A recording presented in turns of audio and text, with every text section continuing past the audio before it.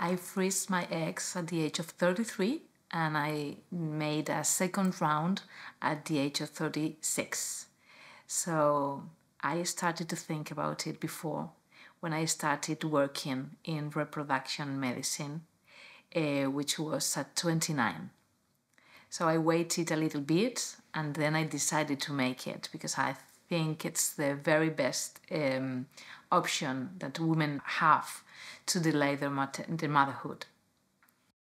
Doctor of uh, um, reproductive medicine should be very empathetic with their patients, and I, I have been always very empathetic with, with them, but now I'm more. I am more empathetic with them because I can understand the feelings, the, the, the what, what you feel during the, the, the, this journey because it's not it's difficult this journey.